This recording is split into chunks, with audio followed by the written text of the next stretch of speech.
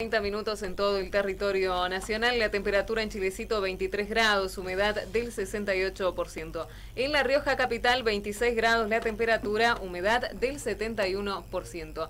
Y hoy estamos celebrando el Día de la Música y para hablar un poco acerca de cuál es la situación de la música riojana, estamos con una de las mejores bandas de Chilecito, los chicos de Hotkin Blues. Muy buenas noches, muchísimas gracias por estar con nosotros. Rodrigo Ortiz, Matías Fabre y Charlie Blues. Muy buenas noches, muchas gracias por la invitación. No, muchísimas gracias a ustedes por venir. Para todos. Bien, ¿cómo ven la música o el desarrollo este de la música y los diferentes artistas en nuestra localidad? Bueno, en realidad hay muchísima variedad de música que es lo bueno que tiene Chilecito.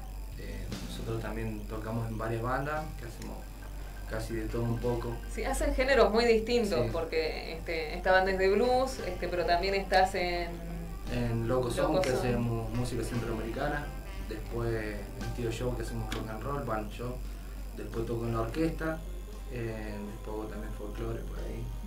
Y en tu caso te vine a hacer punk el otro día. Punk show, sí, claro, con resistencia, acompañamos de Ruben Punk también y, y Quimera, la banda folclore que la máquina del folclore. ¿Y en tu caso, este, qué más? Eh, punk, así todo con Ruben Punk, eh, Resistencia Antiestatal y Hotkin Blue. En esas tres bandas estoy tocando. Bien, ¿y con Hotkin Blues hace cuántos años que vienen transitando por este camino? Y ya hace seis años, oficialmente, cuando debutó él, porque antes eh, largábamos, viste, improvisábamos nomás. pues, estaba Bruno Core en la, en pero llegó él, justo debutamos por un concurso de música, viste para esta misma fecha. Y bueno, lo, ganamos, así que imagínate, la autoestima por el cielo. para el bate. así que de 10, de ahí largamos, gracias a Dios, ahora está firme, ¿me entiendes? La banda. Sí, creo que es una de las bandas este, que más firmeza ha logrado tener, o sea, tienen seis años de trayectoria en lo que es la música. Mucha tolerancia, sí, que no han cambiado este, los, los integrantes, sí han ido agregando por ahí este, esta coteto que les hace de vez en cuando este, lo que es los vientos con el saxo, pero este, no van cambiando los integrantes.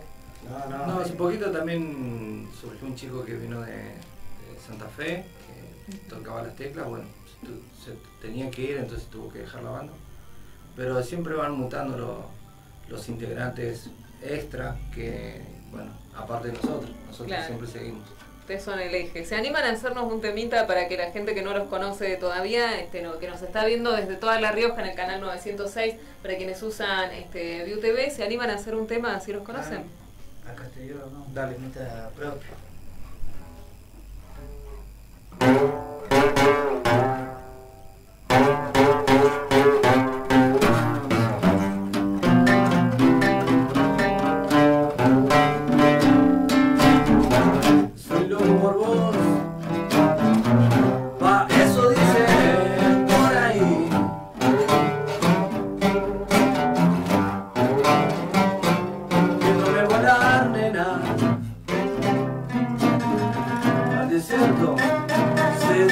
Poco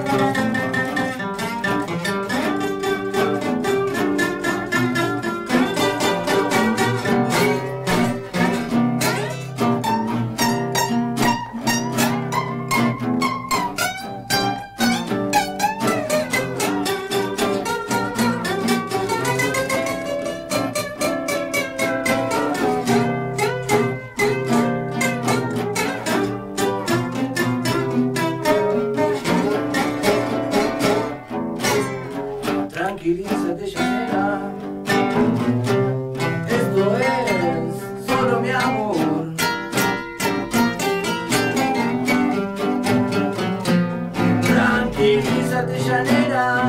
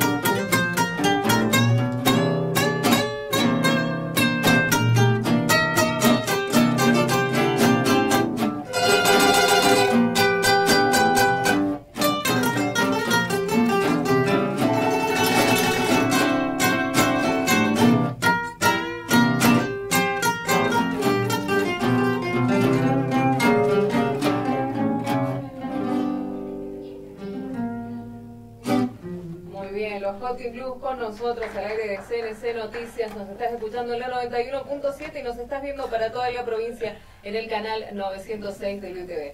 El estilo que ustedes este, están realizando con esta banda fue la antesala de lo que después terminó siendo nuestro rock nacional, ¿no? Este, bandas como son Manal, este, Los Gatos, entre otros. Claro, Manal fue la primera banda que hizo Blue Casting, un pilar, digamos. Pero claro, nosotros este, con él, ¿no es cierto? Que fuimos los cabecilla, digamos que siempre tratamos de hacer blues, la idea fue hacer un blues más al estilo Mississippi, más delta. Claro. Y bueno, de cuando llegó Rodri, ¿me entendés? Le, metió su onda y salió un, pintó una, una, cosa más Chicago, ¿me entendés? Más King, por decirlo así. En realidad nosotros siempre buscamos la personalidad de la banda. Como tantos estilos de blues que hay, de rock and roll y de rock, eh, siempre estuvimos centrados en un estilo propio, donde, bueno, lo logramos, porque tiene una cierta personalidad el blues que tocamos y el rock and roll que tocamos. Claro, pero a la vez este, tiene una cierta identidad donde yo puedo decir, bueno, son los chicos de Hot Blues porque puedo reconocer este, tu guitarra, puedo reconocer este, cómo toca la batería. Este, no sé cómo serán los ensayos ni cómo después será entre ustedes, pero se nota que hay mucho respeto entre lo que cada uno este, realiza. No sé si es así Sí, e incluso ahora la idea que tenemos, olvidando el repertorio viejo, viste, que pero es hacer algo, un blues más tranqui, ¿me entiendes? Más, este, por decirte, ¿me entiendes? Una cosa de Chicago, así. Porque si no, igual el tema que hicimos recién también era así, pero lo hicimos más de él, ¿me entiendes? Con el ¿Y por qué eligieron este, hacer blues? ¿Qué los llevó a elegir este, ese estilo específicamente? Ya que cada uno, o sea, están en bandas tan distintas y hacen géneros tan distintos, ¿por qué eligieron hacer blues? Es que en realidad el blues fue el que nos, unió, el rock and roll. Y bueno, mamamos mucho de, la vieja escuela, em, Robert Johnson, Muy Waters, y queríamos ser algo así. Entonces, bueno. Con tres notas, ¿no? Con tres notas, tal cual terminaron este, creando Hot King Blues. ¿Se animan a hacernos un tema más? Claro.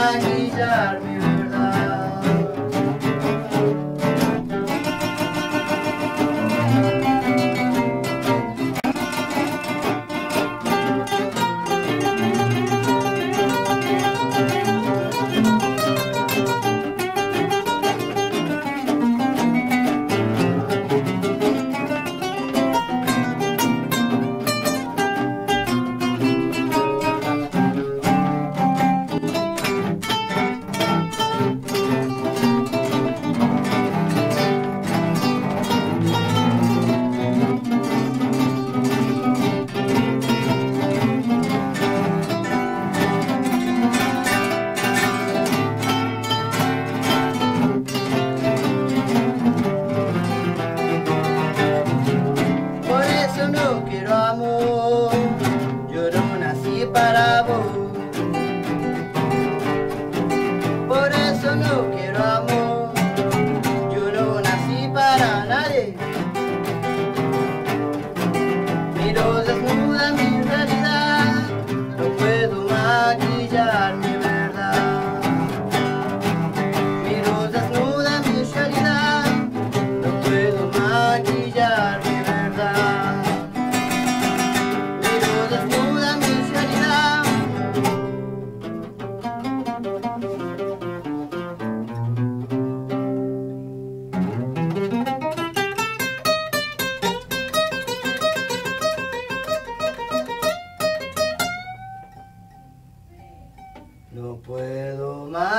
Maquillar mi verdad.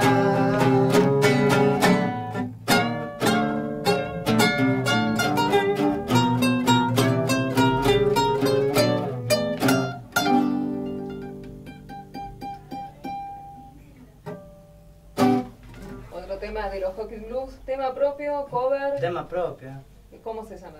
Maquillando la verdad. Si alguien quiere escuchar este más de ustedes, este, ¿tienen algo grabado? ¿A dónde pueden ir?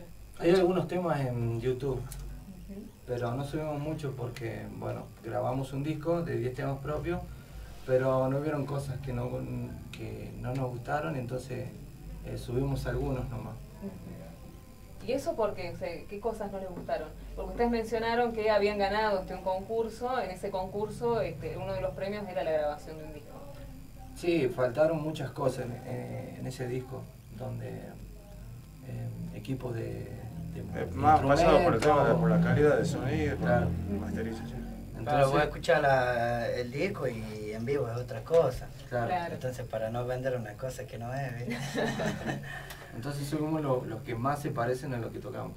Bien, bien, porque para ustedes es muy importante también la experiencia este, que, que se vive en el vivo. Claro, Claro, exactamente. Y la gente siempre responde bien, así que Claro, gracias a hacen- ellos. Hacen un género muy lindo y también otra cosa este, que es muy interesante, que si bien ustedes mencionan este, muchas influencias este, del Mississippi, lo que es el blues en inglés, este, se animan a hacerlo en castellano y a ponerle también su impronta. Claro, claro. Y es muy difícil porque en inglés el blues puede hablar de cualquier cosa que no tiene nada que ver, pero la fonética, ¿entendés? Es otra. Y Claro. capaz que si vos cantas esa letra en, en español no, no, no Lo- va, no el cuaja. ritmo, claro. Y pa- a la hora de componer, este, ¿quién es el compositor dentro de Hosting Blues? Este, ¿Cómo van arreglando esos temas? Y bueno, nosotros eh, mayormente cantamos los temas que, que escribimos. Por ejemplo, los temas, el tema que cantó él, lo escribió él, lo compuso él, después lo lleva a la banda, como ha- hago yo también, y definimos los últimos detalles, los últimos arreglos, cosas que no nos gustan, y hasta que le damos un fin. Pero siempre cantamos las letras que uno hace.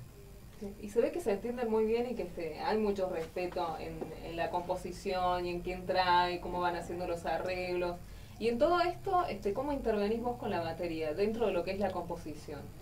Y bueno, más o menos ya cuando están las melodías terminadas de- con las ca- canciones, eh, va saliendo de a poco, hace como que te va llevando la música, ¿viste?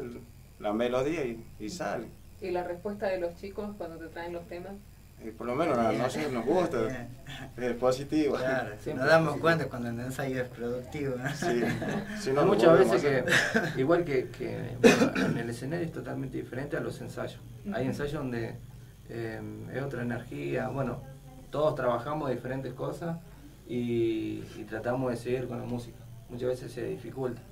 Entonces se dificulta los ensayos, poder hacer temas nuevos y por ahí uno llega recansado, son otros ánimos, pero ya cuando hay una fecha de por medio ya es eh, otro ensayo. ¿Y cómo configuran los ensayos con todas las otras bandas este, y todas las otras cosas este, que van haciendo? ¿Cómo, ¿Cómo hacen para tener espacio para ensayar para Hotkin Blues y para ensayar este, para las otras fijo. bandas donde están? Claro, tenemos día fijo. Nosotros ensayamos los miércoles la siesta, es intocable. Bueno, ensayamos y ahora hace tres ensayos, ponele, nos dedicamos al repertorio viejo unidad y empezar a sacar temas nuevos. ¿Y los vecinos qué dicen cuando ensayan? No me odia. No, no creo, no creo, sí. Sí, sí, sí, mentira. La Pasa otra que- vez vecino me dice si le iba a dejar dormir. Pasa que es difícil cuando la gente está acostumbrada a la música comercial. Entonces, en un barrio común, donde tenés vecinos muy pegaditos, eh, que siempre escuchan la misma clase de música, es difícil. Pero bueno, nosotros tenemos que trabajar.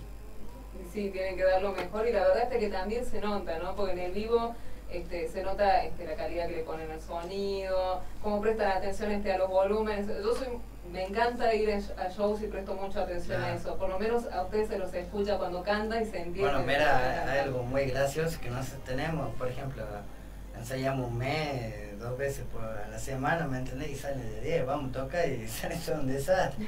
Pero cuando ensayamos una vez antes de ir a tocar, no ensayamos hace mucho, ahí salen un caño. Mu- mucho también eh, influye eh, a no tener un, un ingeniero de sonido, un grupo de sonido, donde dejas todo ya grabado como vas a ir a tocar en todos lados.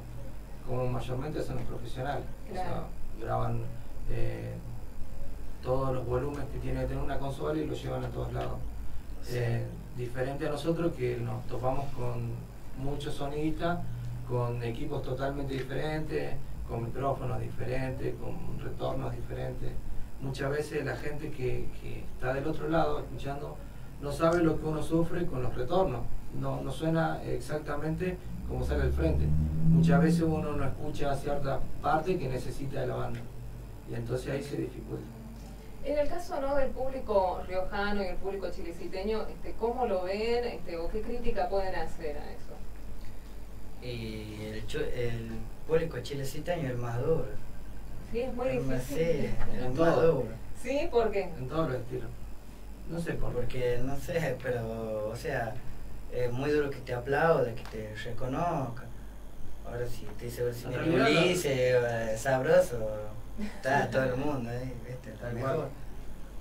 Pero ¿qué pasa? Como Chilecito es muy chico, entonces nos cruzamos la gente todo el tiempo, entonces, bueno, lo veo todo el tiempo. O sea, eh, en cambio cuando uno sale a otro lado, es totalmente diferente el público. Sí, pero más allá de eso, la otra vez vino Nahuel Penis, y nadie le... Claro. Entonces, también es un poco la, falta de conocimiento cultural. Cultura.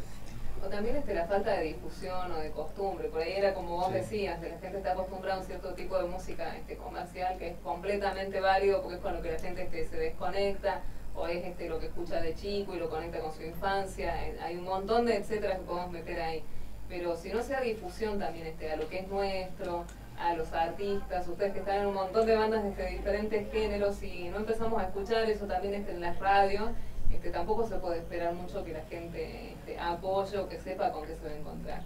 Ah, es muy fría, por ejemplo, capaz que le, le gusta, muy, qué buena banda, pero, no, te va a mover las manos. Hace falta el aplauso en el público chileciteño. Además te, te va a la capital o a Córdoba, donde andamos nosotros no, totalmente distinto. Nosotros andamos, no, terror andamos más de Pero nada, de, de día el público. Bueno. Porque nadie es profeta en su tierra. Exactamente. bueno, ¿se animan a hacer este un último tema antes de despedirnos?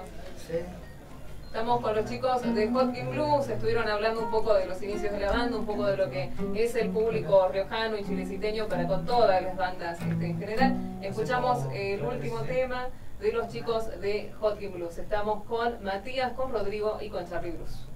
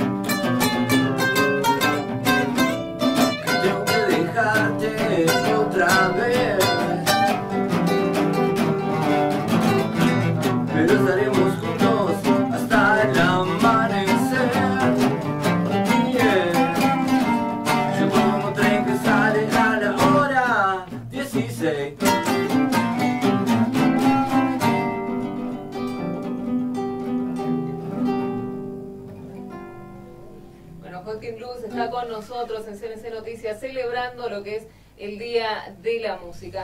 Chicos, ¿van a estar o tienen alguna presentación? No sé si con Fonty Blues, con, con, alguna de las otras bandas en las que están, que quieran invitar este, a la audiencia. Invitar también a la gente de La Rioja que puede venir a Chilecito este, a verlos. Bueno, en La Rioja supuestamente tenemos una fecha con Loco Son, el 7. Después estamos trabajando con Rodrigo eh, en una fecha más para despedir el año acá en Chilecito y con Joaquín Blues. Y seguro van a salir fechas durante la semana, igual todavía ahora no tenemos nada claro. Todos salen espontáneamente. Con Loco son creo que se llama el ciclo acá en el, que hace el CUMI, en la universidad, el 6, el 6 creo que sí es ahí, sí, creo. Ustedes van y vienen este, con diferentes bandas y pasan por los mismos lugares.